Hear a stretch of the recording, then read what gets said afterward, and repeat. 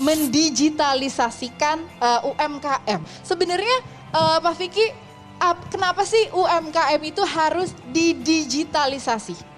Jadi sebetulnya betul. Jadi kalau UMKM tuh saya selalu bilang UMKM adalah kita. Jadi ini cocok banget lah uh, ngobrol bareng sama Sreng karena 64 juta, 99,9 persen populasi usaha di Indonesia itu UMKM. Menyerap 130 juta tenaga kerja, bayangkan. Kontribusi pada perekonominya 60 persen lebih. Nah isunya baru di akhir tahun 2019 pada saat awal pandemi di awal tahun 2020 baru ada 8 persen saja atau 11 eh, persen saja UMKM yang uh, onboarding di platform digital, which is cuma 8 juta. Artinya masih banyak uh, sisanya itu kan berarti offline yang memang betul-betul uh, konvensional gitu, jadi interaksi langsung. Pandemi sekarang ini mengajarkan kita memang untuk membatasi kontak langsung sehingga memang tidak ada pilihan lain kecuali hijrah ke platform online atau digital.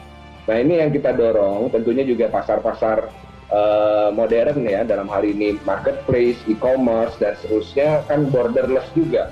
Bisa menghubungkan. Indonesia 17.000 pulau. Isunya itu logistik. Isunya itu adalah akses interaksi komunikasi. Tapi di digital ini bisa jauh lebih terhubung dan tentunya lebih mudah. Jadi uh, sebetulnya itu yang memang menjadi concern pemerintah kenapa kita menargetkan sampai dengan 2024 itu sampai dengan ada 30 juta uh, eh, UMKM yang sudah uh, bisa on board di digital. Berarti Kang Vicky, berarti di era pandemi ini UMKM dipaksa masuk ke digital dong ya? Iya, iya Mas Bim. Jadi hari ini uh, catatan selama pandemi kita dorong salah satunya dengan gerakan Bangga Buatan Indonesia ya. Hmm disupport oleh kita semua lah.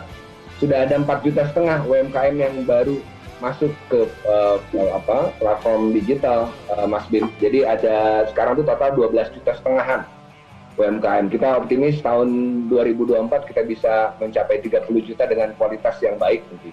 Wow. wow. Iya, okay. jumlahnya 64, targetnya 30. Lumayan lah ya. Yeah, yeah. Setidaknya setengahnya sudah setengahnya bisa udah, berpindah udah pindah gitu. Nih ya.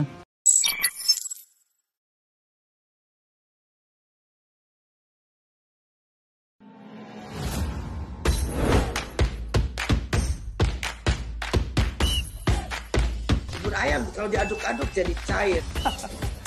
Seriously? Diaduk kayaknya ya.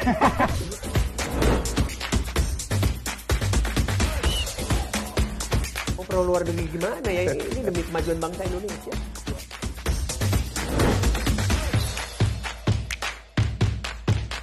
Isu kebangkitan uh, PKI ini uh, dihentikan.